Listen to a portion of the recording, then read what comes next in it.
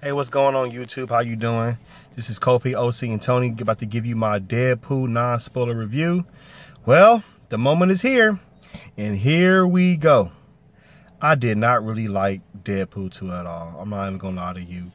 Um, it was some funny parts in the movie, don't get me wrong. Uh, ha ha ha, he he he, yada yada yada, here and there. But the story was like out of order. Um, there was a lot of things being force that I didn't like. The only character I cared for the most besides um, Deadpool was um, Domino. Um, the black woman that plays in Atlanta, she she did she her role was good. Cable role was decent. Um, I didn't like how they incorporated the X Force. That was just like it, it was no storyline with that. Um, the so-called villain was was weird. It was just like, huh? What y'all trying to do? Like, I don't know. Like, I just sat through the movie and I felt like, man, I can't believe I'm watching this. I'm glad I had free tickets because if I didn't, I would have been mad. But um, that was like a blessing in disguise. But um, I'll give this movie a five out of ten. I'm gonna be honest. I don't care if it's Marvel. That don't mean nothing to me. It's a five out of ten. Um, the first one is better. The post-credit scene is good. That was funny.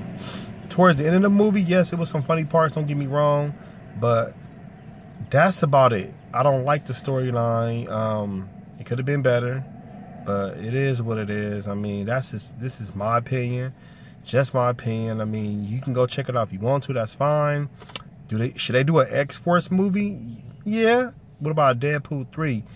If they're gonna do that, they need to take their time and not rush the movie because I feel like this movie was rushed. It was a lot of things that they could have just made it better. Like in Deadpool one, from the beginning to the end, it was a great storyline. I mean, the comedy was you know on point and it was hidden at the times when you need it.